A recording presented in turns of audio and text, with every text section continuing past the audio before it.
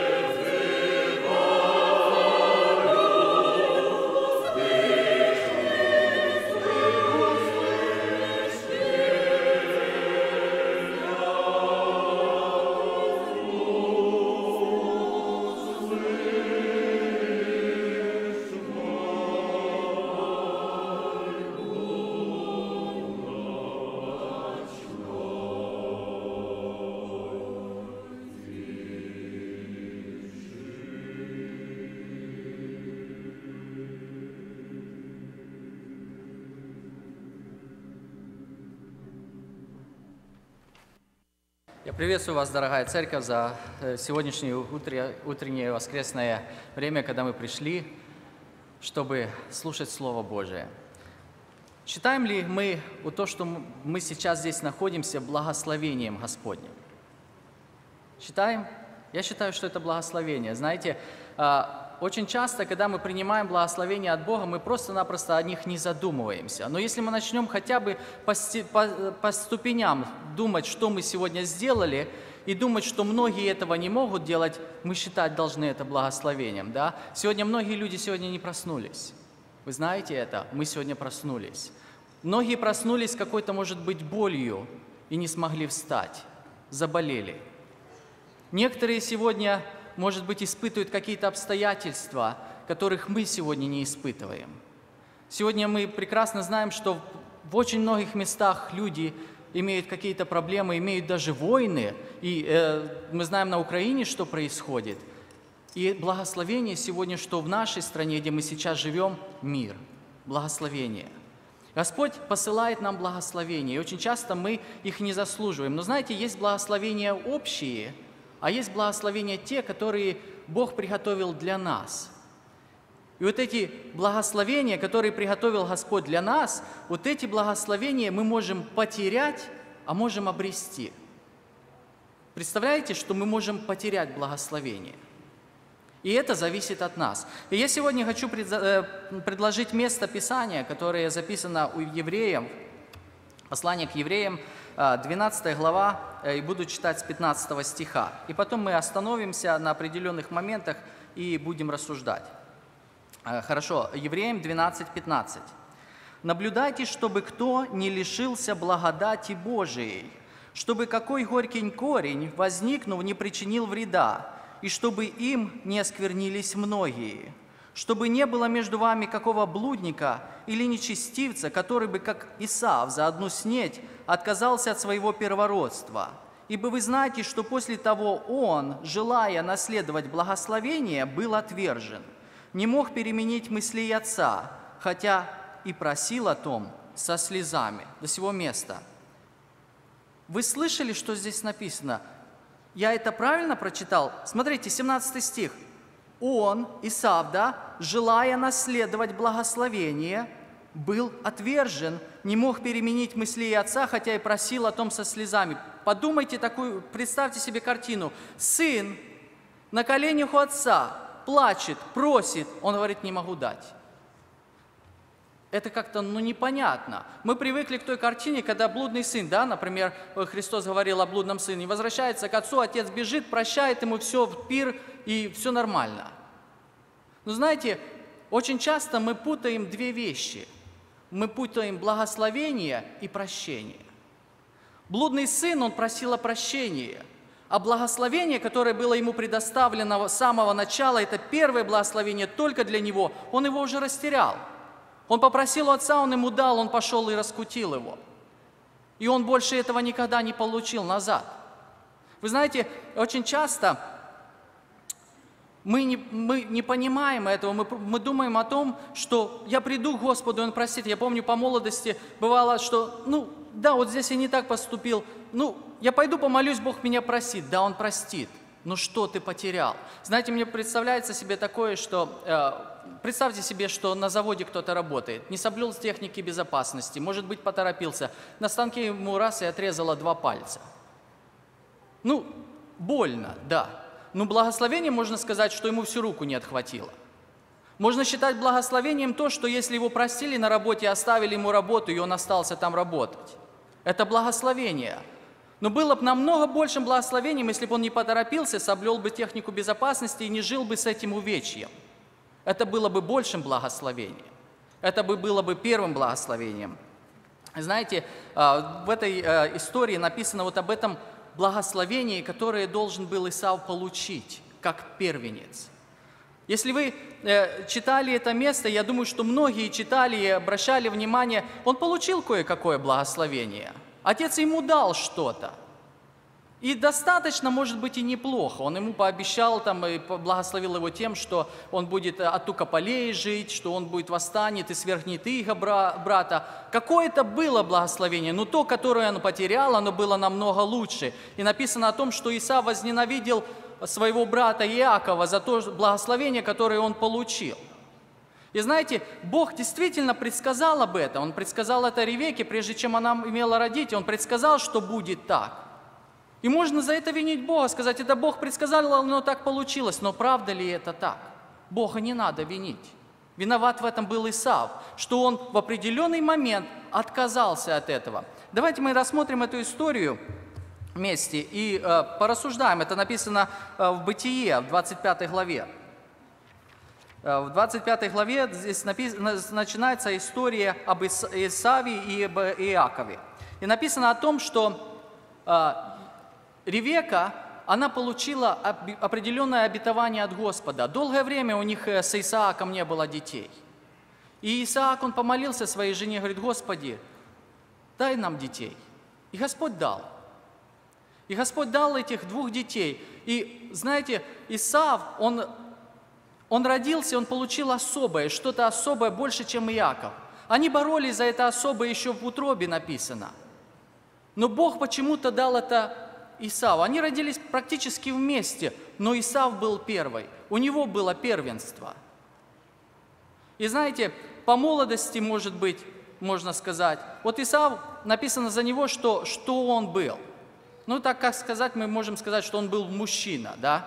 Он э, охотник был, он ходил, э, добывал свою дичь, он от поля питался. И его папа любил за это, потому что дичь была ему по вкусу. А вот Иаков, он был немножко другой. Он дома маме помогал, он был э, как-то растился, может быть, животных домашних, он ухаживал за ними. И он маме особо нравился этим. И вы знаете, однажды был такой случай, когда, о котором мы сейчас прочитали, что когда именно Исав отказался, пришел он с поля и голодный был, кушать хотел. А в это время Иакова уже что-то готовилось и что-то было готово какая-то похлебка была. А вот, а ему кушать хочется. Ну, и такое бывает, да, мужчин особенно говорят, и многие даже шутят, говорят, что вот если мужчину не накормить, проблемы будут. Я помню, как-то детей стал воспитывать, один из них, еще маленькие были, прибежал к маме, говорит, говорит, мам, ты папу накорми, а то он что-то, у него настроение плохое. Знаете, это действительно так. И вот Исав приходит и говорит, есть хочу, вот хочу и дай мне вот этого. А Яков, он хитрый был. Он хотел первородство иметь. Он говорит ему, ты дай мне вот это, что у тебя есть, и я тебе дам то, что у меня. И знаете, он не задумываясь, Исав, не задумываясь, говорит, а что мне от этого сейчас? Я вот умру сейчас. Я хочу, дай мне. Он говорит, поклянись. И вот он поклянился, поклялся, и вот так вот пренебрежительно Исав отнесся вот к этому первому, что у него было. И знаете, он получил то, что он хотел иметь сейчас. И, может быть, оно утолило его вот этот голод, на какое-то время, ну, может быть, на три часа, может быть, на четыре. И он опять стал иметь, захотел иметь того же, что он имел до этого. А то, что потерял, то было вечно, и то было ему дано Богом. И знаете, Бог, предвидя вот это вот, что его пренебрежительное отношение, да, он предсказал об этом, но вина была его. И знаете, в этой истории, когда немножко дальше написано о том, что, э, когда мы вот остановились, что Исав, он э, просит на коленях у отца вот этого благословения, отец не дает. Немножко э, подробнее они написаны в 27 главе. 27 глава Бытия. И давайте мы каждого персонажа особо посмотрим и рассмотрим, как это все было. Как человек потерял. Как оно, может быть, хотел приобрести. И вы знаете, персонажи эти, там было всего четыре человека, да? Исаак, Ревека, Иаков и Исав. Вот было четыре человека в этой истории, которая записана. И вот однажды Исааку ну, проснулся, он, может быть, и у него болит что-то, и он решил, что он уже умирает. Но он уже был старый, ему было 137 лет. А, не ищите этого, э, здесь не написано. Это можно высчитать. Если кому-то будет интересно, подойдите, я вам расскажу, как это можно соприкоставляя Писание, несколько э, мест, можно высчитать, сколько ему было лет в этот момент. 137 лет ему было. И вот он, у него он видеть плохо стал. И он решил, что все, я уже умираю. Надо мне благословить сына, оставить наследство какое-то для него. И, ну, кого мне благословить? Я благословлю вот этого, которого, который мне больше нравится. Которого, ну, вот он первенец. Я вот думаю себе, представляю себе, э, каждый из этих людей, он что-то хотел, да? Он что-то хотел которые были здесь четыре человека. Знаете, в Америке здесь поставлено так, что вот на этом «хочу» очень часто многие променивают очень много. Да? Фастфуд, да, вот эти Макдональдсы. Люди хотят, они стоят там в очередях, получают это, хотя все говорят, что это, это неправильно, это приведет вас к большим последствиям, от этого будут side effects, как они скажут, да? Нет, люди идут туда и покупают. Я хочу новую машину, да? Пожалуйста, нету денег? Пожалуйста, дадим. Но потом за эту машину ты будешь платить очень долго. Дом, что угодно. Знаете, я слышал, один проповедник говорил такие вещи. Он говорит о том, что, говорит, очень часто мы покупаем вещи, которые нам не нужны. Мы покупаем их за деньги, которых у нас нету, чтобы, может быть, тех людей удивить, которые нам не нравятся – знаете, и это правда, это действительно правда. И знаете, вот в этой истории каждый из них хотел. И вот э, Исаак думает, ну я умираю, я сейчас сыну отдам. И может быть, знаете, что двигало им? Неужели он не знал о том, что Бог сказал? Знал. Он знал о том, что Бог сказал. Он знал, что младшему принадлежит вот это благословение. Ревека ему об этом говорил. Ну, знаете, можно вот себя так сопоставляя, думаешь, а может быть он подумал, ну, может быть, Ревеке там что-то приснилось, а оно-то вроде-то вот так вот лучше получается. Я думаю, что Иаков ему тоже говорил о том, что Исав он променял, он мне поклялся, я, я должен иметь вот это большее. Ну, может быть, по молодости что-то там было, может быть, он что-то где-то отступился. Ну, а к этому времени уже Исаву было с Иаковом 77 лет. Ну, по молодости, может быть, что-то там было – и знаете, очень часто родители покрывают вот эти вот грехи детей, думая, что они делают что-то лучшее, а оно оказывается в худшем состоянии. Знаете, вот он вроде покрыл, он сказал, иди вот э, сделай мне, я, я вот это сделаю для тебя, и будет все нормально. Знаете, и Ревека это дело услышала, и она говорит о том, что Иаков говорит, Иаков, проблема происходит. Сейчас, наверное, вот это благословение, которое вроде как тебе принадлежит, оно-то может быть уйти к Исаву. И знаете, ее тоже можно понять. В, в израильском народе было такое, что кто оставался главным в семье после, он должен досматривать был за родителями, а ей хотелось дожить с любимым сыном. И Иакову можно понять тоже, ну вроде как это мне принадлежит, но я пойду на обман ради того, чтобы получить хорошее – но это не Божьи методы. И знаете, каждый из них что-то хотел, но не хотел или не то, что нужно, или хотел и получить не тем, никаким, не Божьим путем. И знаете, я так думаю себе, что думал Иа, и, и, и, Исаак?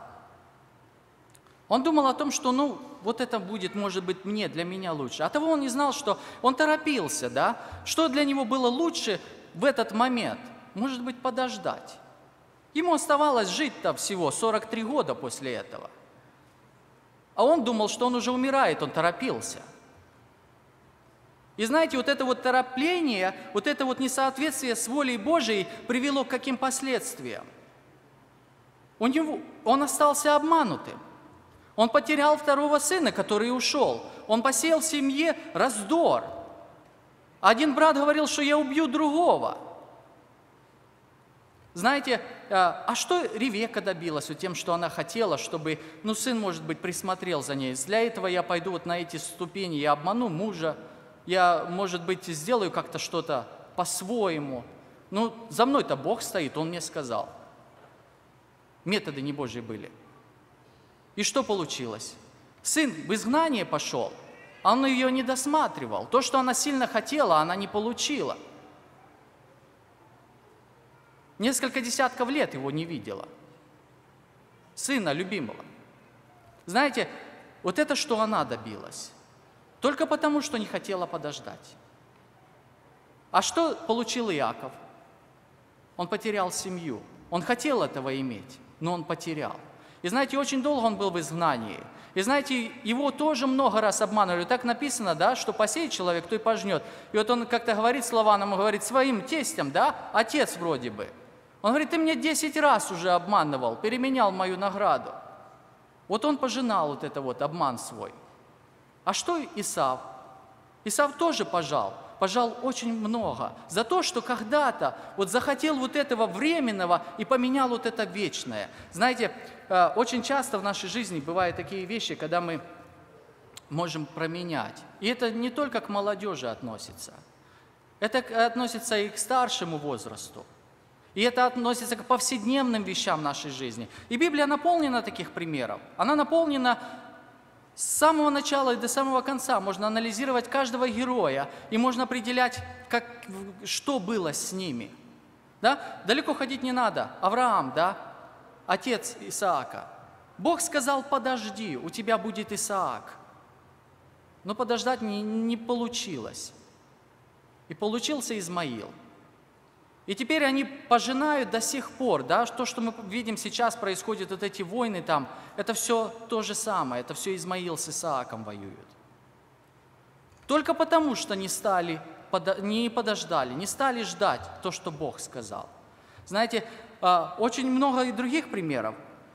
Мы можем с вами вспомнить пример, 27 а, глава Деяний. Вот я читал на той неделе. Узник Павел – Сотник, он у него уже в авторитете был, ну, пользовался авторитетом, сотник уже даже отпускал его там увидеться, он понимал, что человек непростой. И вот они решили плыть на корабле, а, а Павел ему подходит и говорит, не, не, давай не поплывем, проблемы будут. А он говорит, да вот кормчий говорит, у него experience есть, да, он со стажем человек. Он говорит, что нужно вот это время, и ветер вроде подул, как правильный – и он не послушал то, что Бог сказал. Вот это было первым благословением. А потом что было? Помните, да? А потом была большая буря. И было благословением то, что Бог спас их не из жизни, все спаслись. Но первое благословение было намного лучше. Почему? Потому что ни корабль бы не погиб, ни груз бы с корабля, и сами бы живы остались. И две недели бы не были бы во тьме морской, да, носились туда-сюда, страха натерпелись. Вот это было первое благословение. Знаете, Саула можно вспомнить, тоже не подождал. Самуил сказал, подожди, а он не подождал. Ну вот люди стали разбегаться, популярность моя, может быть, ну, ниже опустится. И я решил делать то, что делает священник делает. И что получилось? Царство потерял. За то, что боялся, то и потерял. Вот так вот происходит, когда мы не слушаемся Бога, не слушаемся то, что лучшее, меняем на то, что может быть временное. Знаете, э, это, это то, что происходит в нашей жизни. Помнится пример о Самсоме, Самсоне. А, говорится о нем, остановлюсь немножко подробнее. Это, это написано в книге Судей. А, что интересно, написано о Самсоне, да? Это особо как-то, может быть, для молодежи какое-то предостережение – что написано о Самсоне? Написано о том, что его родители были особо богобоязненные. Они, когда услышали э, то, что у них родится сын, они попросили Бога прийти и рассказать им, что нужно делать. Вот дай нам закон правильный, чтобы шаги мы делали. Вот у нас особый сын родится, ты же сказал, что нам делать? И им Господь говорил, он Назарей будет. А Назарею нужно делать что? Он говорит, воздерживаться от всяких крепких напитков, от виноградной лозы, то, что вообще она производит, это значит ни винограда не есть, ни изюма не есть. Воздерживайся от этого. Назарей не должен был к мертвым прикасаться, Назарей не должен был жениться на чужих народах. Это то, что Назарей должен был делать. И знаете, что родители соблюли? Написано о том, что когда он подрос, Бог его благословлял. Потому что родители сделали то, что как положено было. А дальше что было? А дальше он пошел и увидел девушку, а девушка была, ну, не с того народа. А ну, а что тут такого? Все же могут, а я почему не могу? Что, я особый, что ли? И знаете, ему она понравилась, он пришел к папе и говорит, я хочу эту девушку, она мне понравилась. А папа ему говорит, ты что, этого нельзя? Нет, я хочу. И знаете, что они пошли, они пошли, они угодить сыну решили, пошли они туда. И написана история, что интересно, виноградник там рос, да, и вот он туда зашел, прошел мимо. И знаете, вот интересно, что очень часто с молодежью говоришь, они говорят, ну, я же то не трогал. Я рядом там был. И знаете, очень часто у нас происходит такое, что а вот насколько я ближе могу подойти, чтобы не запачкаться? Не сколько подальше, а сколько поближе. И знаете, что написано об Иове, да? Написано «удаляющийся от зла». Вот он увидел зло и побежал от него. Да? Об Иосифе написано «зло пришло, он убежал от него». А тут, тут Самсон он взял и пошел поближе к винограднику. Он проходил, а там его знаете, что встретило? Лев. Его лев там встретил. Была проблема там. И знаете, вот он с этим львом э, так расправился, так Бог дал ему силы. И знаете, очень часто тактика врага такая. Вот он даст вам расправиться, победить первый, чтобы опять же вас подальше, подальше туда заманить. Знаете, он сделал это, и даже потом с этим хвалился, шутил об этом, вот я льва победил – но папе с мамой не рассказал об этом. Может быть, папа с мамой что-то бы решили другое, а он им об этом не сказал. И знаете, он пошел, поговорил с той девушкой, она ему еще больше понравилась. И говорит, я хочу теперь жениться на этой девушке. А это против воли Божией-то. И знаете, вот это вот оно немножко как затягивает. И он в следующий раз пошел, когда решил посмотреть того льва, которого он растерзал, да, ну, все-таки герой – получилось. И вы знаете, он пришел к этому льву, а там мед есть, а меда хочется, а трогать льва нельзя, потому что мертвый. А он Назарей. Ну что, я-то хорошая, я мед взял, и чтобы так себе, получается, может быть, чтобы совесть не судила, и родителям дал, но не сказал, где взял. И кушали. И знаете, оно вот это вот, вот это временное, оно может быть какое-то время сладкое, но потом горько от него будет – и знаете, вот потом он, когда хвалился, рассказывал, у него друзья появились там на стороне вот этих филистимлянов. И дошло до того, что у них пир даже вместе был. Он уже кушал то, что они едят. Он пил то, что они пьют. И он женился на той девушке, на которой ему нельзя было жениться. А горько потом было. Девушка эта вышла за друга, за его замуж. И знаете, в итоге он потерял все. Все, что он хотел иметь очень сильно. Он потерял эту девушку и, им проблему причинил. Знаете, оно не то, что вы себе сделаете проблему, когда вы на этот плод позаряетесь, но вы и проблему и тем людям делаете, с которыми вы сообщаетесь. Девушки всю семью спалили, ту, которую он любил. И знаете, что интересно, какое-то время он остановился. Но оно со временем, оно пришло опять. Пришло, и он опять пошел к этим филистимлянам не научился. Да? И было то же самое практически, как и в первый раз. Да? Вы помните, когда он пришел к этим филистимлянам после долгого времени, там ему ворота закрыли, чтобы его убить. А он взял эти ворота и вроде как в шутку вынес их и на гору занес их далеко, показал, вот я какой сильный, я могу с, с вами справляться, могу с вами. Знаете, лев, вот эти ворота, оно вроде как справился – а оно затянуло-то дальше, и со временем что произошло с ним? Обманули его. Ту девушку, которую он опять полюбил, да, Далида, она ему изменила. Она сделала так, что его потом напросто узником сделали.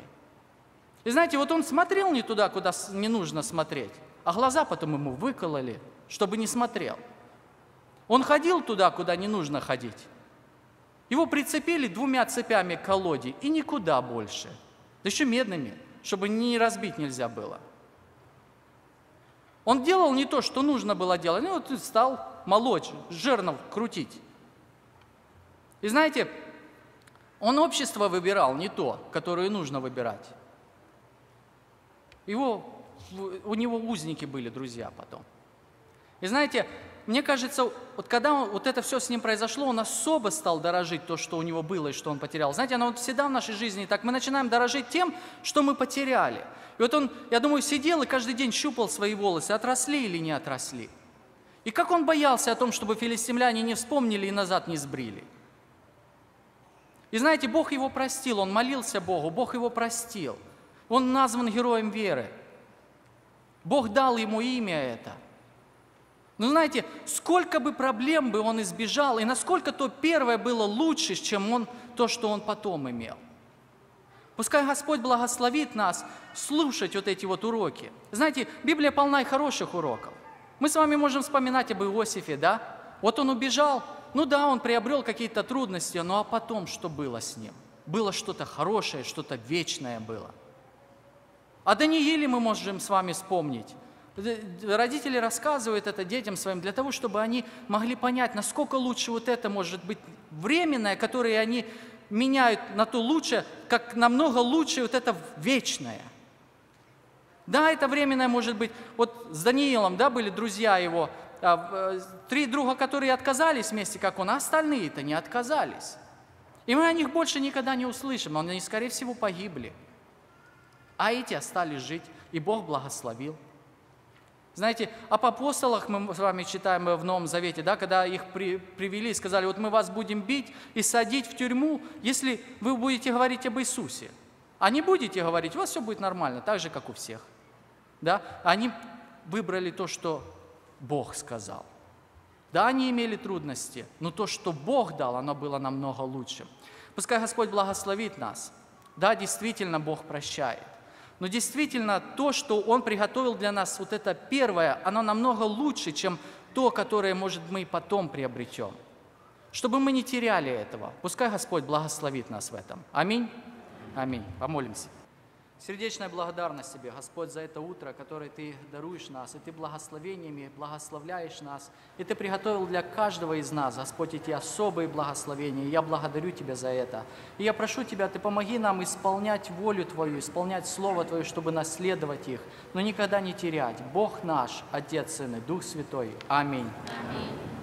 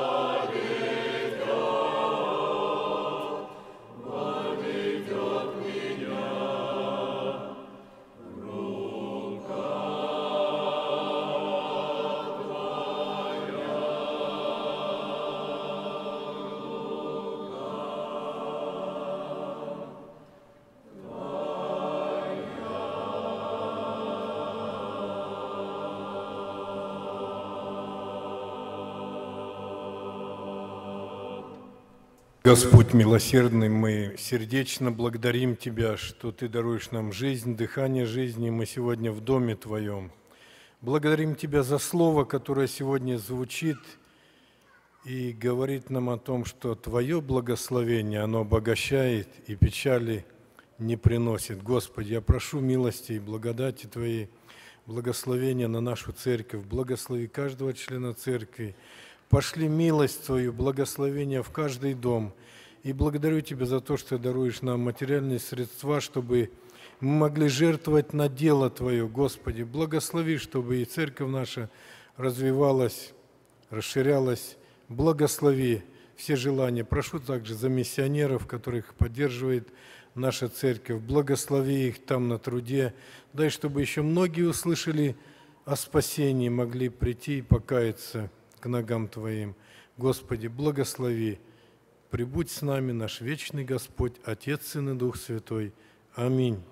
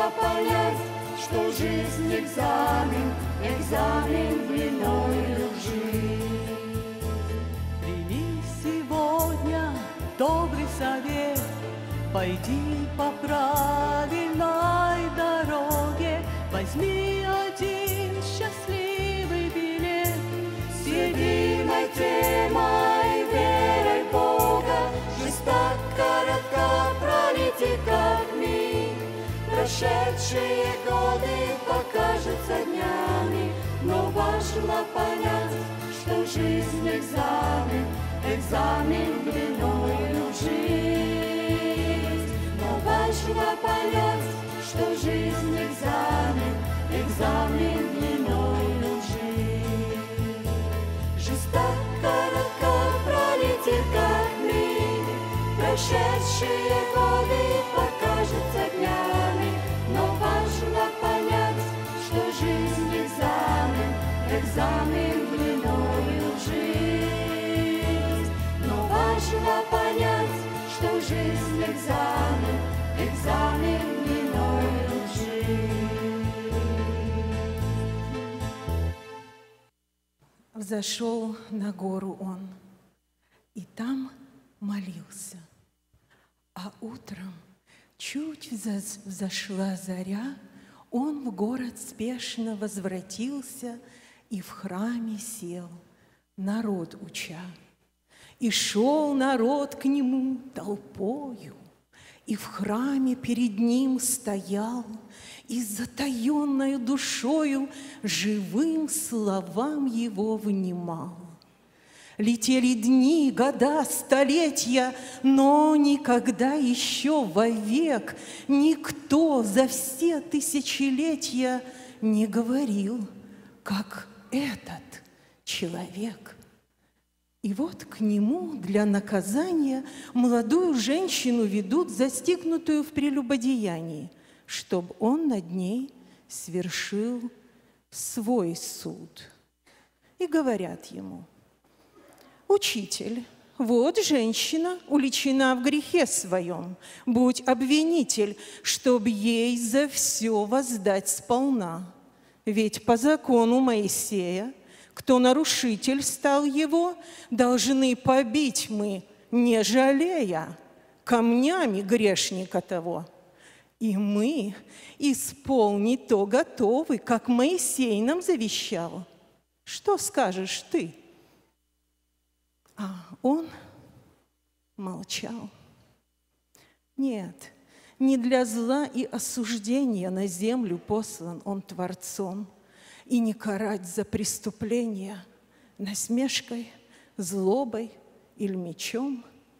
Он послан был для всепрощения, для мира, радости, любви и проповедовать спасение и крест Голговский понести.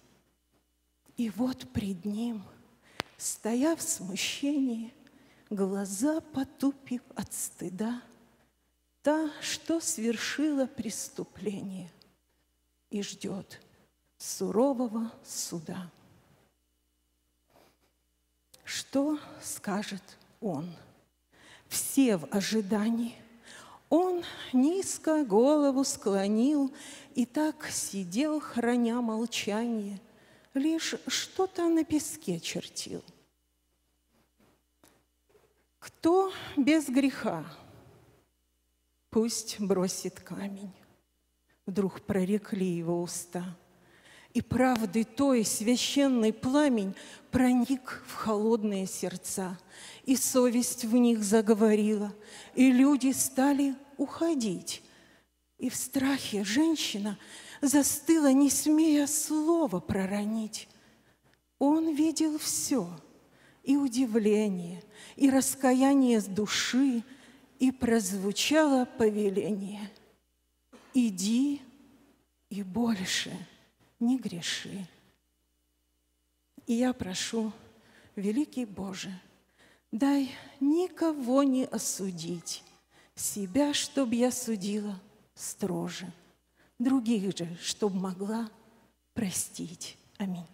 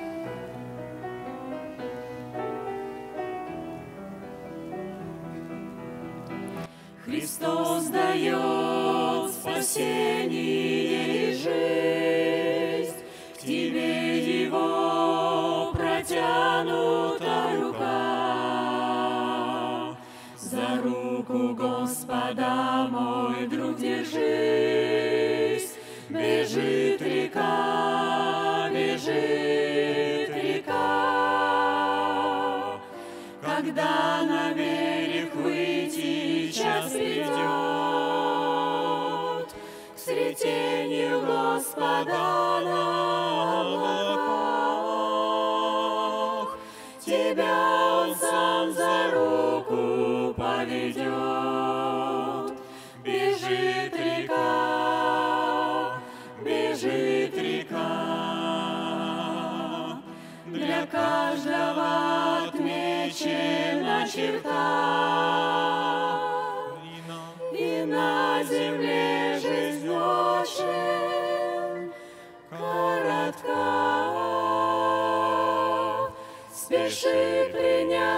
спасение Христа, пока еще бежит река, бежит река.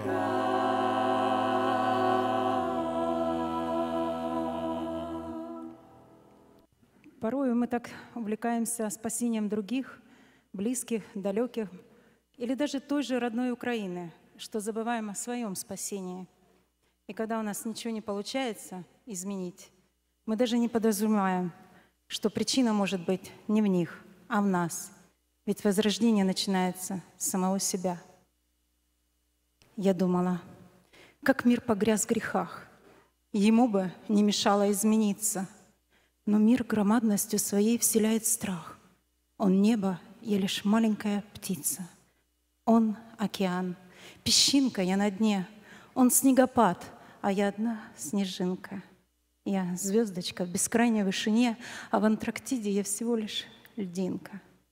Мне мир не изменить, не хватит сил. Быть может, город я смогу исправить. Он по размерам меньше, чем весь мир. Что к этому могу еще добавить? Но город тоже не подвластен мне. Грехов так много, я одна не справлюсь. И молча, на коленях, в тишине, перед Творцом Всевышним опускаюсь. Господь, скажи, как лучше поступить, как людям мне помочь чужим и близким, как научить их верить и любить, и пред Тобой склоняться низко. Как научить других не убивать, не осуждать, не красть, не лицемерить, и в роддомах детей не оставлять. Как им помочь, Господь, в Тебя поверить? Как подсказать, что нужно всех прощать? В слезах я долго Господу взывала — Боялась зря я время потерять, И, наконец, в бессилие я упала. И тут Господь мне тихо прошептал, От этих мыслей можно заблудиться, Ведь чтобы мир вокруг красивым стал, Тебе, родная, нужно измениться. Ты прежде измени саму себя, Освободись от страшного порока. Я буду рядом, дочь, я помогу. В огромном мире ты не одинока. Ты прежде измени саму себя. Попробуй и начни с самой себя. Взгляни на мир вокруг глазами веры, и ты увидишь, как вокруг тебя падут врагом построенные стены. Молись, увидишь, мир весь расцветет, на грешников посмотришь, как на ближних, зная, что моя рука тебя ведет, и где бы ты ни была, я здесь, я слышу — не падай духом. Я всегда с тобой. Молись опять, когда слабеют силы. Я Бог твой, утешитель, я живой. Дитя свое беде я не покину. Всегда я рядом, только не забудь, ты для меня всех жемчугов дороже. Примером для людей хорошим будь. Я обещал, и я тебя не брошу. Аминь.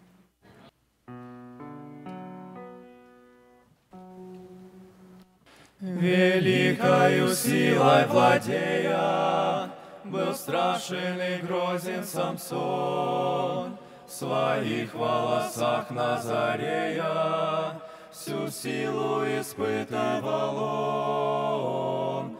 М-м-м. Всю силу испытывал он. Он льва растерзал, как ягненка, Ворота он нес на спине, И челюстью свежая сленка Врагов победил на войне. М-м-м. Врагов победил на войне. Но вскоре коварно Давида, Всю тайну узнав от него, во сне его кудри лишила и тем погубила его. М-м-м. И тем погубила его. Позорно он взят был врагами, Позорно лишился очей, И долго молол жерновами, ворочаясь в узах цепей.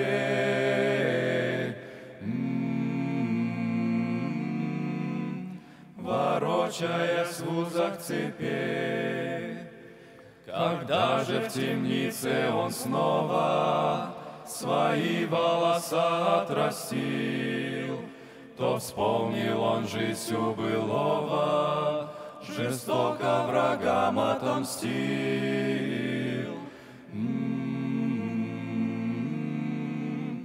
Жестоко врагам отомстил. Я это прочел для примера, как могучий Самсон без волос, в чем сердце не твердая вера, в чем сердце не властен Христос. М-м-м. В чем сердце не властен Христос. М-м-м. В чем сердце не властен Христос.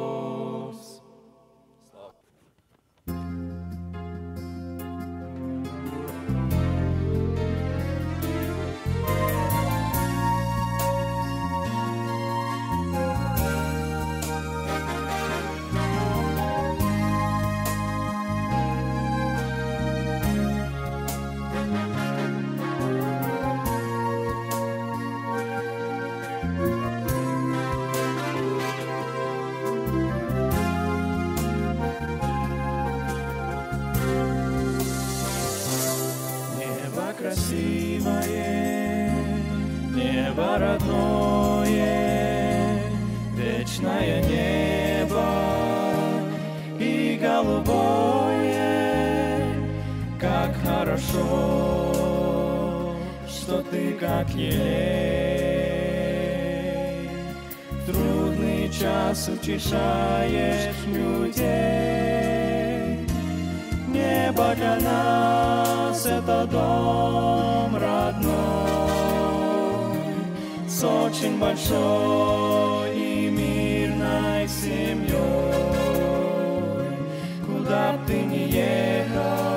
везде оно. Для утешения людям дано.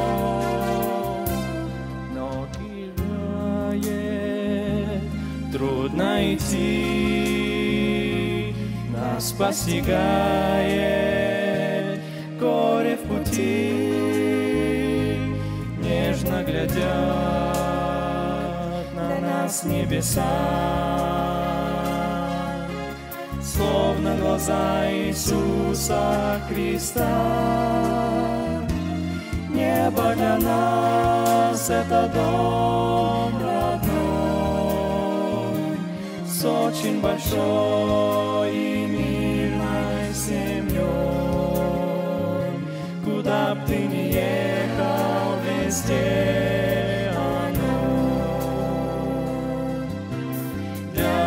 Для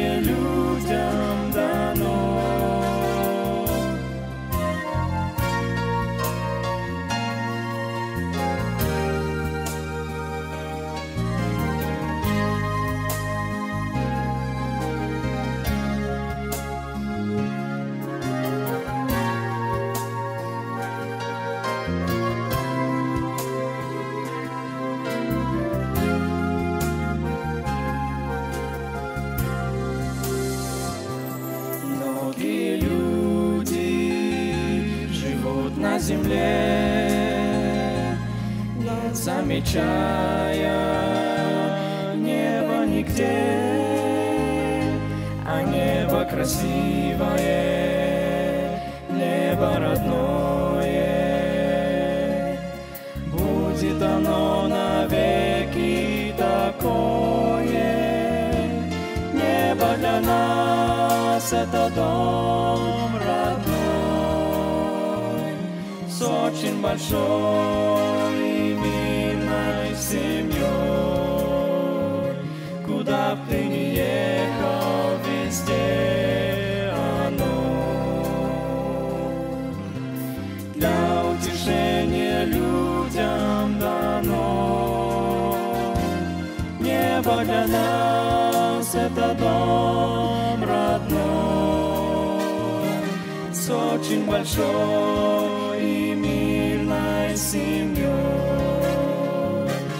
куда б ты не ехал, везде оно. Для утешения людям дано. Небо красивое, небо родное, небо красивое, небо родное.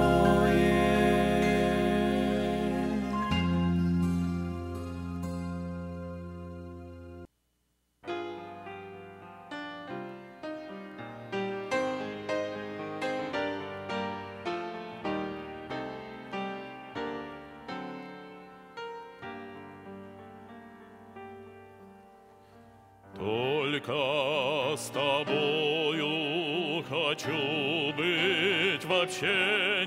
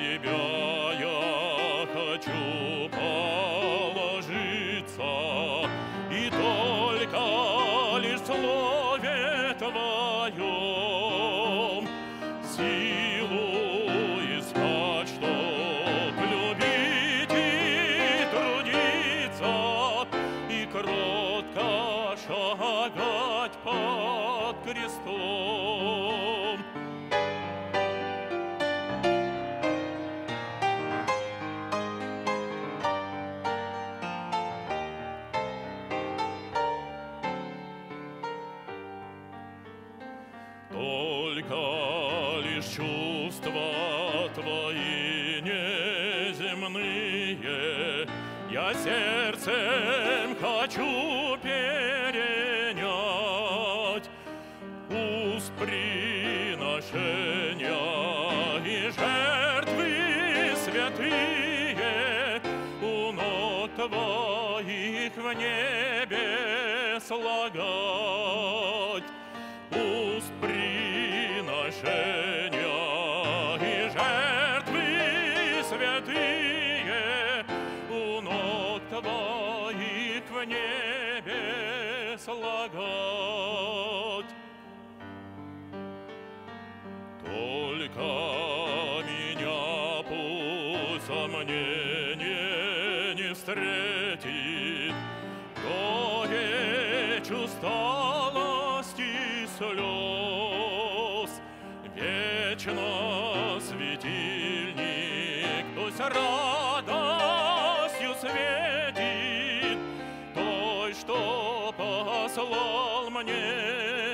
Христос, вечно светильник, пусть радостью светит той, что послал мне Христос.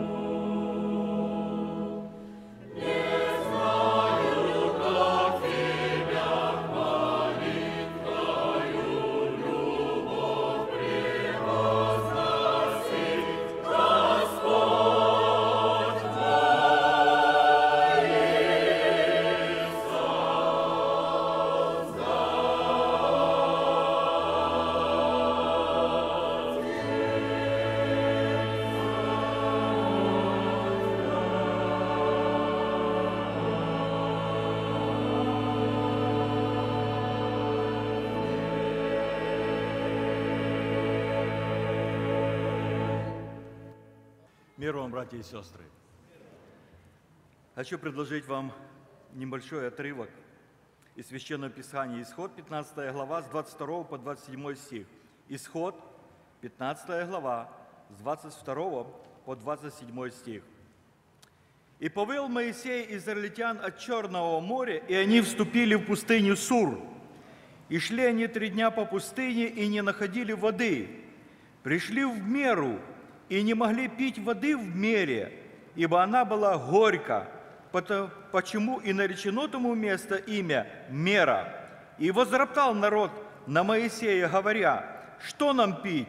Моисей возопил к Господу, и Господь показал ему дерево, и он бросил его в воду, и вода сделала сладкою. Там Бог дал народу устав и закон, и там испытывал его. И сказал, если ты будешь слушаться гласа Бога твоего, делать угодное пред очами Его, внимать заповедям Его, соблюдать все уставы Его, то не наведу на тебя ни одной из болезней, которые навел на Еги- на Египет. Ибо я Господь, целитель твой.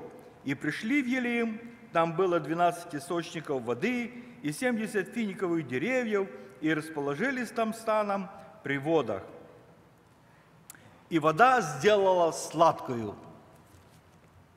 Братья и сестры, когда я вникал в эту историю, вы знаете, я признаюсь честно, на языке вертелся один и тот же вопрос. Господи, ну почему? Почему народу, который 430 лет был в изгнании, в рабстве, в унижении, в оскорблении, каждый день чувствовал на гайке надсмотрщиков, ты не дал насладиться освобождением. Они не были готовы жить в Ханаане. Они не были готовы жить в Ханаане, в послушании Богу, в зависимости от Него, исполнять то, все, что от Него.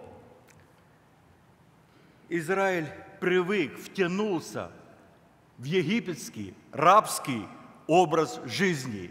Они столько лет зависели от фараона. И сейчас они не вполне понимали, что произошло. Израиль никогда бы не покинул Египет, и Бог бы не, вы, не вывел бы их, если б не было целей, куда идти. За сотни лет до этого Господь пообещал им, что обязательно их введет в обетованную землю, где течет молоко и мед. Мы представить себе не можем, чтобы такое могло случиться. Если мы однажды с семьей решили куда-то поехать отдохнуть, собрались, сели в машину и не определились куда. Ну, это же абсурд, правда, но не бывает такого. А ведь именно так сегодня живут большинство людей. Отправились в жизненное путешествие, не имея представления, куда приведет их дорога. Представьте себе, какой бы был хаос, если бы вот этой огромной толпой, эту огромную толпу, она была брошена на произвол судьбы, чтобы они сами себе избирали дорогу. Но не сами они избирали дорогу, и не Моисей им указывал путь, Господь вел Израиль по этой дороге. Израиль оставил Египет, Египет в спешке. Они не были готовы к этому путешествию. Только один Моисей из всех имел представление от жизни за пределами Египта. И чтобы не заблудились, сам Господь вел их. К сожалению, сегодня многие идут по жизненной дороге без Божьего руководства. Утро, обед, вечер, ночь, подъем, работа, телевизор, отбой. Растут, работают, стареют и умирают. Братья и сестры, какие мы с вами счастливые, что наша жизнь наполнена смыслом. Мы знаем, куда идем. У нас есть цель, и мы идем этой дорогой под водительством, под защитой Небесного Царя. Так и хочется сказать слова, которые мы хорошо знаем. Ты знаешь путь, хоть я его не знаю. Сознание это мне дает покой. Пусть неизвестно мне, куда иду я, но я спокоен. Путь мой знаешь ты. Можно только представить себе ликование Израиля, когда Египет остался позади их. Но, к сожалению, это ликование было совсем недолгим. Вышедшие из Египта оказались в такой ситуации, где ничем не могли помочь себе своему спасению. У моря, тогда, когда впереди море, а сзади фараонские войска, они могли только себе сделать это, ожидать спасения от Бога, ни от кого. И Господь, вы знаете, преподал им там первый урок, как во время бедствий продолжать жить по вере. Как во время бедствий продолжать жить по вере. Моисей говорит народу, не бойтесь, стойте и увидите спасение Господнее. Господь будет поборать за вас. И что еще? Чем заканчивается этот стих? А вы, а вы будьте спокойны. Братья и сестры, в чем мы больше всего нуждаемся, когда бедствия приступают? Конечно, в сердечном покое. И чем больше христианин доверяет Богу, тем больше он познает Бога. И напротив, волнение, беспокойство сводят на нет Божье утешение, силу и веру. И сам христианин становится еще слабее. Бог учит нас, что мы были спокойные, что мы могли, умели слушать и слышать, что Он говорит нам в это время – Потому что Он в это время, в этих обстоятельствах учит нас чему-то. Чтобы мы не только были спокойны, а чтобы мы спокойные были утешить и других.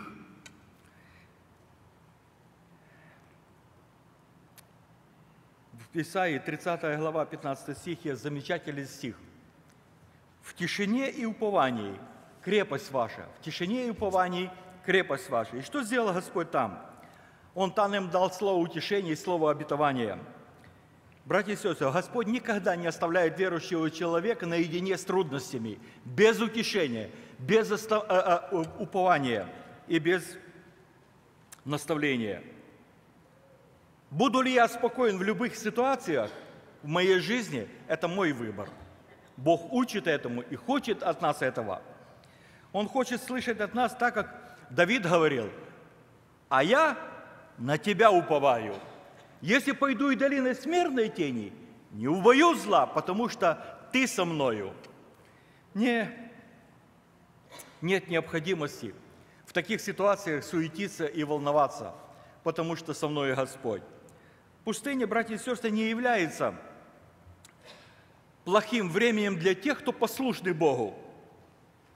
Если мы не понимаем, почему нас Господь допустил, ввел в пустыню – мне кажется, что мы умышленно просто продлеваем пребывание наше там. Это же самое произошло с Израилем. Непонимание того, для чего Господь их повел пустыней, привело к тому, что целое поколение не вошло в обетованную землю. В пустыню вошли все, но прошли ее не все.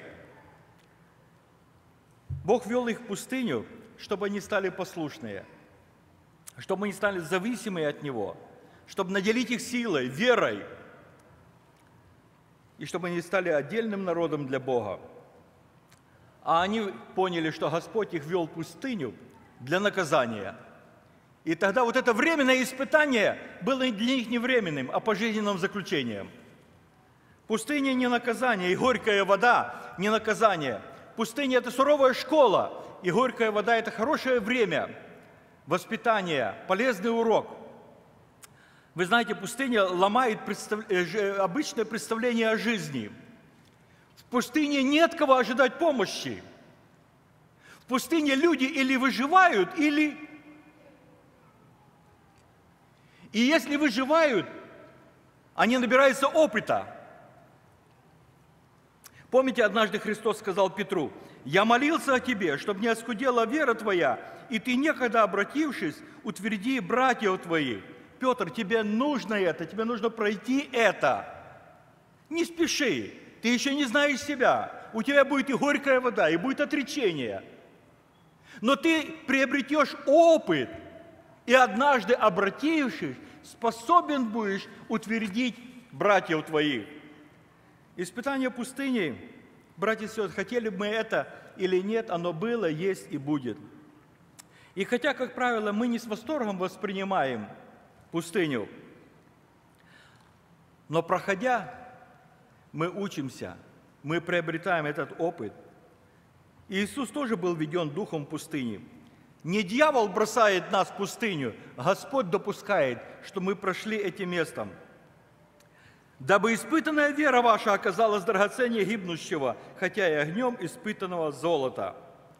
В свое время Бог вывел Израиль из Египта не для того, чтобы они там роптали, а для того, чтобы ввести их в обетованную землю.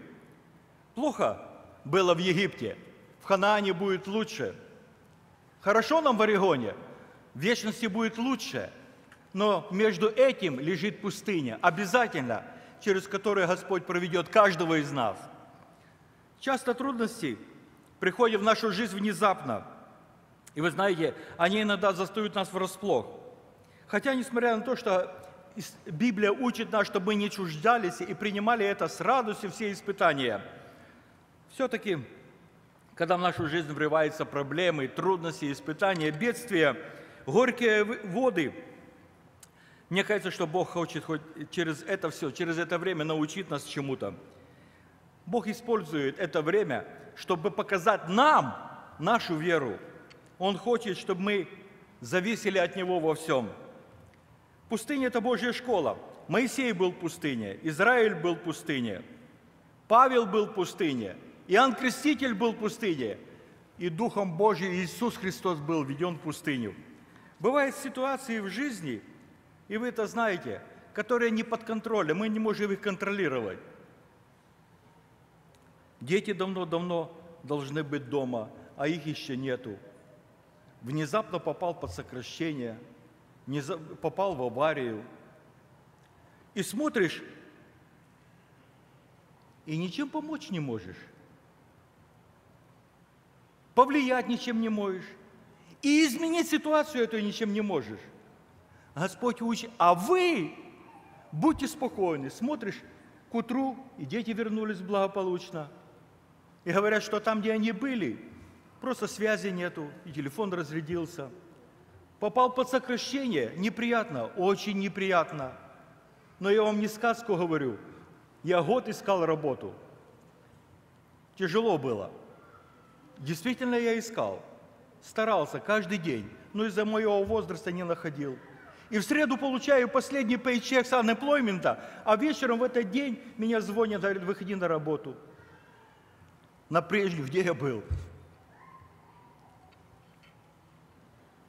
А вы оставайтесь в.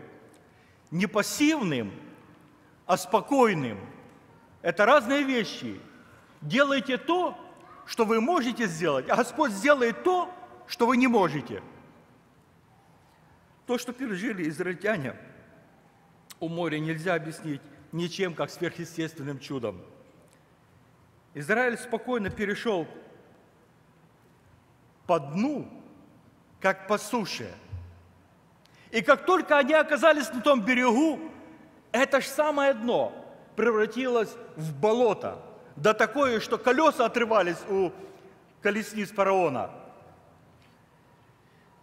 Торжеству, радости и ликования не было предела, кажется, когда они вышли, когда остался Египет сзади.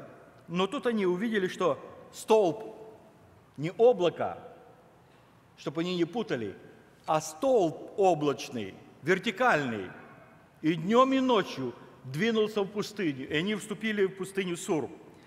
Братья и сестры, чем характерна пустыня? Недостатком воды. Слишком мало воды в пустыне. Не все страны располагают достаточным ресурсом природной воды. Арабские Эмираты, Кувейт, Саудовская Ара- Аравия. В основном здесь, в этих странах, импортная вода, которая покупается за счет продажи нефти и газа. А эту историю, о которой мы сегодня с вами рассуждаем, как раз и произошла в одной из частей Саудовской Аравии. Мало воды. Если вы когда-нибудь шли три дня без воды, то вы поймете чувства, которые переживали Израиль там. Дети плачут, скот ревет, губы трескаются, и на устах одно слово – пить, пить, пить. И вдруг они видят озеро. Там, ты, там, наверное, сотни тысяч, сколько можно, мы побежали, прильнули к этой воде. И тут же отскочили. Горькая вода. Невозможно пить.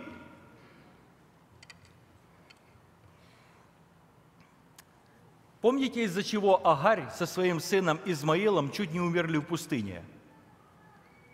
Не стало воды, написано. И написано, что она оставила своего сына под кустом, а сама отошла подальше, чтобы не видеть, как он умирает. И начала плакать и вопить. Потому что в пустыне может помощь прийти только и там написано, вдруг Господь ей открывает глаза. И она видит, что рядом колодец с прохладной водой. Она до этого не видела. Братья и сестры, я не случайно привел пример с Агарью с ее сыном. Потому что тогда, когда она попала в такую критическую ситуацию,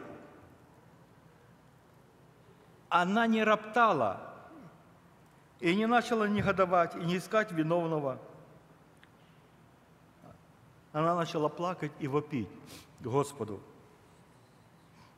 Потому что только Господь мог дать помощь. А Израиль, оказавшись у воды, меры, горькая вода, начал роптать, начал жаловаться, начал негодовать, искать виновного. Они кричали на Моисея, что нам пить? Скажите, Моисей мог дать им воду? Почему Бог дал им воду? Нет, не из-за возмущения, из-за громкого крика, крика и ропота, а потому что один единственный из двух миллионов возопил к Богу. Один единственный. В такой обстановке человеческие сердца, конечно, охватывают страх, нужда, особенно если вера очень слабая – Израильтянам как раз и не хватало ни веры, ни верности Богу. Они не могли даже подумать, взвесить, проанализировать, если Бог там, у моря, разрешил этот вопрос, и они спокойно перешли, то неужели этот же самый Бог не может помочь им, чтобы они не умерли от жажды? Братья и сестры, Бог реагировал не на крик – недуховных людей, а на вопль Моисея. Не ропщины Моисея,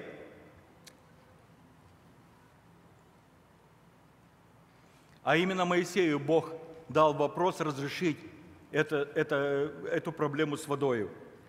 Спасение израильтян заключалось в том, чтобы нужно было бросить кусок дерева в воду. Казается, простое решение. Это мог бы сделать любой человек, любой израильтянин – но нужно было это сделать с верой. Беда в том, что из всей толпы 2 миллиона ни у кого не было этой веры, кроме Моисея.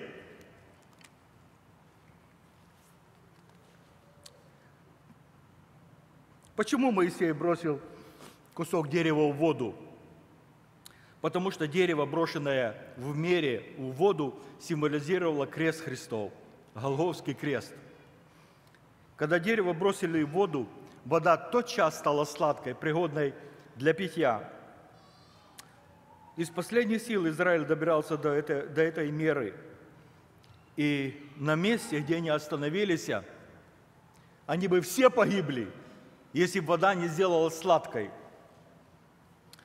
Поэтому мы можем сказать, что это дерево стало для Израиля спасением – потому что там никто не умер от жажды. Все люди, животные, могли наслаждаться сладкой водой, пить сколько хочешь. Иисус Христос связан с деревом Голговского креста. Посредством этого Голговского креста чудо нашего спасения является частью каждого из нас –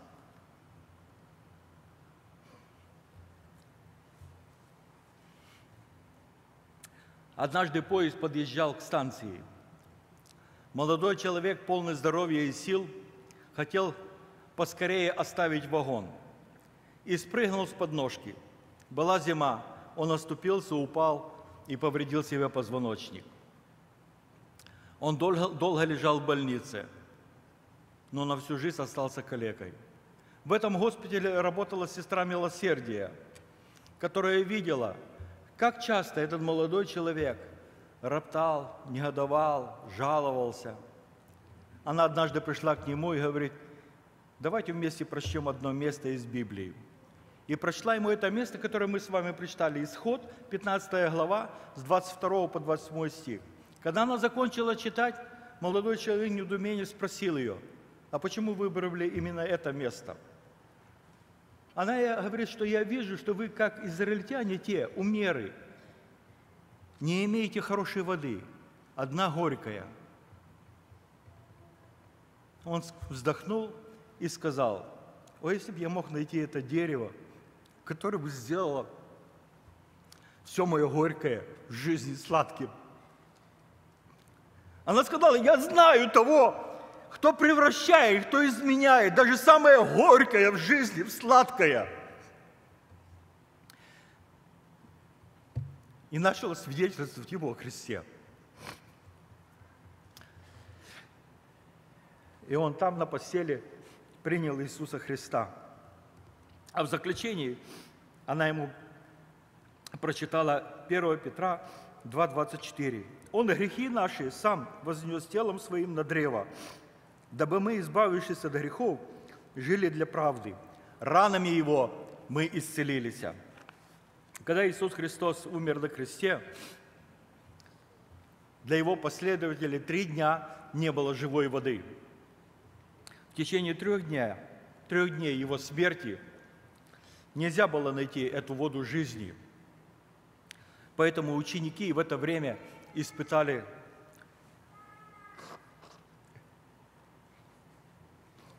простите, глубокую горечь. Спасение плоти израильтян был кусок дерева, который бросили в воду. Спасением душ всех людей является дерево креста Голговского. И тот человек, который не познал, что он погибший, еще отвергает, еще отодвигает свое обращение к Богу, потому что не видит своего гибнущего положения. Я знаю, я верю в то, что когда человек увидит себя в погибшем состоянии, тогда приходят минуты, когда человек возопьет к Богу. Помните, в одной песне есть такие слова. «Ты пришел, чтобы сладким сделать горе, ты пришел, чтобы милостью обнять». И дальше. «А теперь с надеждой живою я живу, пока свой час умру. Ты мне ближе, чем песок к прибою, и дороже, чем вода в жару». А сейчас, дорогие друзья, я хочу обратиться к тем, кто еще не в мире с Господом. Друг дорогой, ты можешь строить свои планы, ты имеешь свое мировоззрение, ты можешь рисовать свое будущее таким, как ты его представляешь. Но я хочу сказать, что для тебя у Бога есть судьба. Больше того, нежели придут проблемы в твою жизнь, у Бога уже есть разрешение на них. Прежде чем Иаков начал голодать, Господь послал Иосифа в Египет и сделал его вторым человеком, который заготовил тысячи тонн хлеба, чтобы прокормить не только Египет, но и все семейство своего отца. Я просто хочу сказать, ты просто видишь ограничено до первого поворота. Один человек летел на двухместном самолете над холмистой местностью – вы, водители, вы, наверное, все понимаете, о чем я говорю. Спуск, подъем, спуск, подъем, спуск, подъем. Там внизу пролегал хайвей с двухсторонним движением. И по этому хайвею двигался большой, огромный трак. То опускаясь, то поднимая, то опускаясь. Пристроившись сзади, ехал автомобиль, водитель которого хотел обогнать этот медленно ползущий трак. И всякий раз, когда он делал попытку обогнать трак, опять появлялся холм. и закрывал обзор. И чтобы не рисковать, этот водитель опять возвращался назад. И так много раз, много раз. И летчик говорит, я с неба видел, что хайвей свободный на несколько миль вперед. Но то, что я видел с неба, не видел человек земли.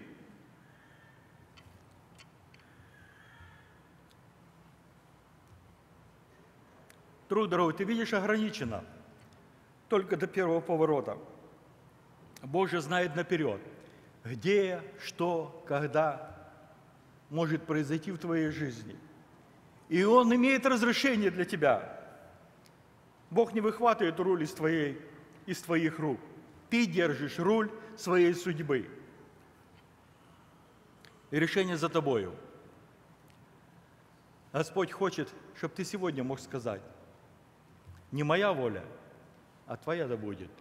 Не как я хочу, а как ты. Если Господь сегодня разговаривал с твоей душой, теребил твою совесть, говорил о погибшем состоянии, самое лучшее время сегодня примириться с Богом. И да благословит тебя Господь с этим выбором. Аминь. Помолимся. Дорогой наш Небесный Отец, мы от всего сердца благодарим Тебя, что Ты продолжаешь нас вести в небесный Ханаан. И Ты хочешь видеть, Ты хочешь слышать, чтобы мы на этом пути всегда были послушным Тебе. Помоги нам в этом. Аминь.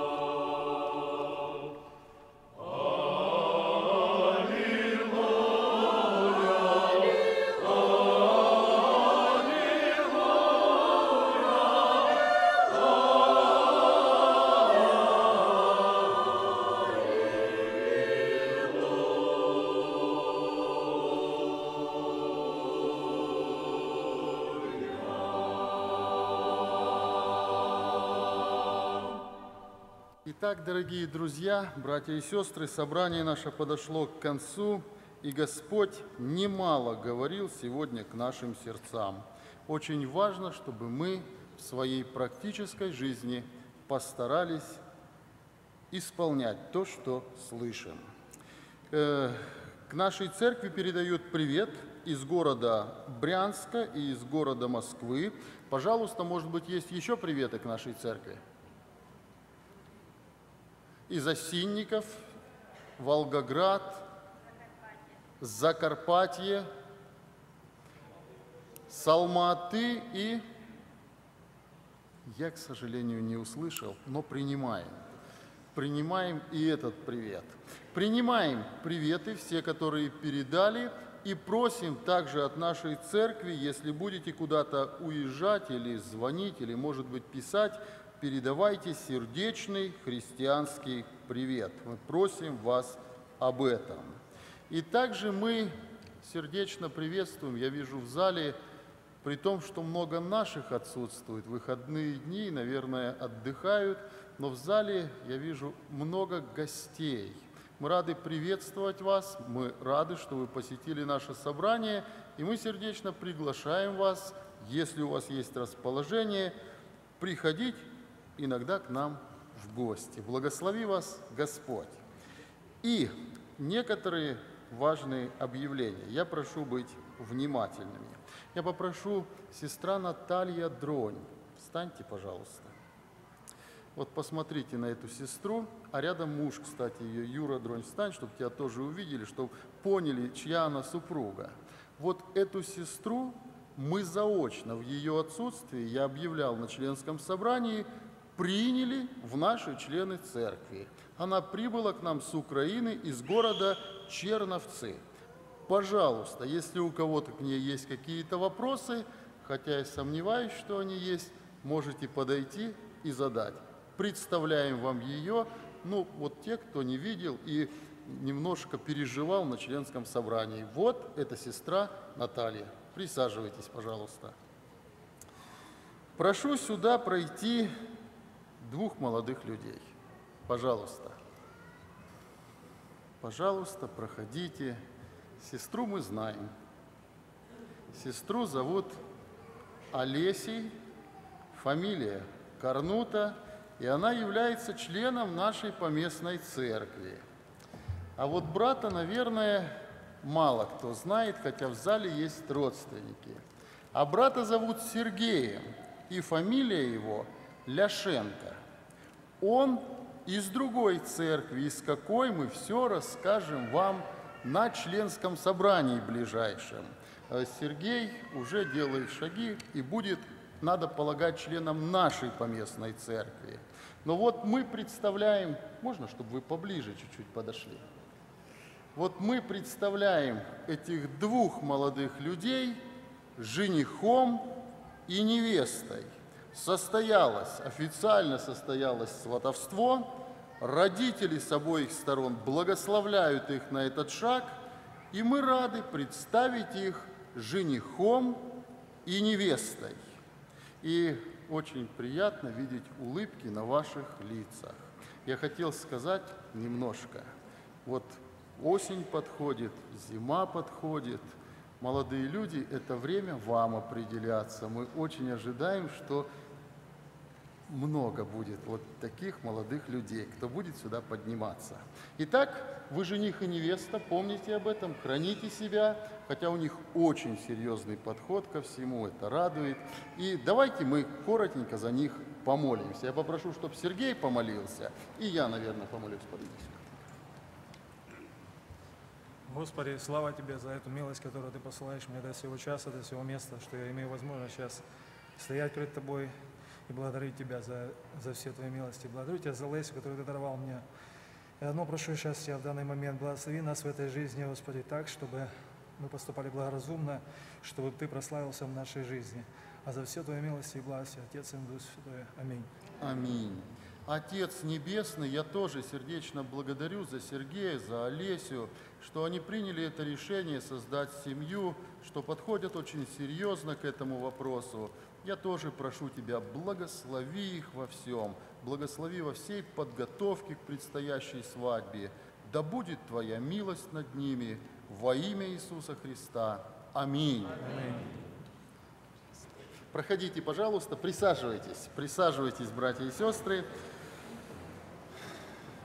Приятно делать такие объявления, правда? Следующее – молитвенники, кто участвует в круглосуточной молитве, братья и сестры, те, кто будет участвовать вот в сентябре, пожалуйста, э, сразу после собрания пройдите сюда вперед, вот здесь брат Владимир Михайлович, он вам раздаст молитвенные листочки.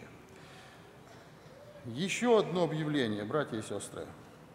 Значит, э, Самойленко Петр просит объявить, во вторник возобновляется, возобновляются репетиции духового оркестра. И он приглашает тех, кто играет на каких-то музыкальных инструментах, духовых, но еще не присоединился к оркестру, присоединитесь. И у них особая нужда во флейтистах и кларнетистах. Поэтому, может быть, кто-то занимается на флейте или на кларнете. Пожалуйста, после собрания подойдите к брату Петру. Братья и сестры, одно объявление, ну, наверное, не очень приятное, но я очень хочу его сделать. Пожалуйста, будьте внимательны, особенно те, у кого есть детки. Вы знаете, что мы сейчас ведем активную работу, чтобы в кратчайшие сроки у нас была построена воскресная школа и русская школа. И поверьте, вот темпы, которыми мы идем, достаточно быстрые, если сравнить, как это происходит у других. Мы действительно стараемся. И мы надеемся, что вот за этот год у нас все, ну, за учебный год, который приходит, у нас все будет сделано. И кто был на членском собрании, вы знаете, что мы на вот этот год сделали академический отпуск для занятий и в русской школе, и в воскресной школе. Хотя сейчас мы так подумали, что старшие группы и в русской, и в воскресной школе, они все-таки пройдут этот год. Академический отпуск для всех остальных. Но вот интересная деталь какая, братья и сестры. А, знаете, мы живем в таком месте, где много церквей. И я вам еще скажу, к сожалению, порой вот бывает, может быть, это даже как-то абсурдно выглядит, но есть церкви, которые вовсе не против пополнить, ну, так сказать, своих членов за счет других церквей. И я сейчас ну, имею такую информацию, к сожалению, что вот на этой почве, что мы отменили наши школы, есть люди, которые пытаются ну, каким-то образом влиять на наших членов церкви. И ну, я лично вижу это какой-то лукавой работой, когда, знаете, прям с распростертыми объятиями зовут, добро пожаловать, лукавство. Самое настоящее лукавство. Я хочу вам сказать, братья и сестры, ничего не произойдет с вашими детьми за этот год. И даже вот если они будут в собрании этот год, может быть, пользы даже больше будет. Поэтому я прошу вас, не ведите вы ваших детей записывать куда-то в другую школу, в другую церковь. Дети ваши будут учиться, и вас по ходу будут обрабатывать там. Не нужно этого делать. И я вам скажу, когда к вам вот подходят с такими идеями, не бойтесь обличать. Я с некоторых пор стал обличать и говорить, слушай, ну, у вас ваша община, ваши планы, а у нас наша община и наши планы. Поэтому благослови Господь и дай вам много мудрости. Извиняюсь, что должен был сделать это объявление. На неделе у нас все служения без изменений. В четверг молитвенное собрание в 10 утра. В пятницу мы продолжаем исследование книги «Бытие». И в воскресенье в 10 утра и в 5 часов вечера служение, и будет вечеря Господня, воспоминание страданий Иисуса Христа, поэтому, пожалуйста, будем готовиться. И в следующее воскресенье на утреннем служении будет молитва о детях, о начале учебного года. Поэтому, пожалуйста, обязательно приводите деток. Забегая немножко вперед, через неделю – у нас будет праздник жатвы не в следующее воскресенье, а через неделю, 14 сентября. И служение у нас состоится с 9 часов утра. Братья и сестры, возьмите, пожалуйста, на заметку. Через неделю служение состоится с 9 утра. у нас будет только одно собрание, а после мы церковью отправляемся, переодеваясь, отправляемся в Луисвилл парк. И продолжение этого дня у нас будет на природе, где будет обед, где будет общение. Поэтому, пожалуйста, уже возьмите это на заметку. Через воскресенье служение на один час раньше, чтобы побольше было времени в парке. И сегодня, сегодня с часу дня молодежное собрание, с пяти, как обычно, наше второе служение, и в 4.20 состоится спевка первого хора. В вечернем служении после первой проповеди будет происходить регистрация деток в детский хор. Поэтому, пожалуйста, папы, мамы, отметьте, наверное, мы еще объявим об этом во время служения. После первой проповеди вечером будет происходить регистрация деток в первый хор. Дети от 6 до 12 лет. Со следующей недели, не сегодня, со следующего воскресенья возобновляются спевки мужского хора. Поэтому, братья, пожалуйста, летние каникулы закончились, настраивайтесь на служение. И просьба от регентов первого хора, у них большая нужда в музыканте. Если есть пианист среди нас, так сказать, есть, но не, вовлечен еще в служение, пожалуйста, подойдите к брату Дмитрию Толмачеву. И наша молитва, молитвенной благодарности и просьбы – очень много благодарности, и это радует.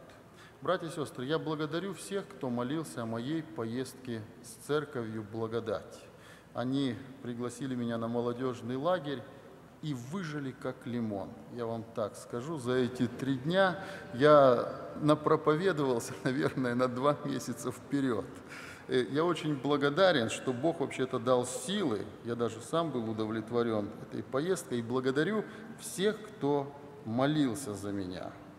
И также Назаровы, семья, благодарят за благословенную поездку в Россию, в Сибирь. Слава Богу, что вы вернулись.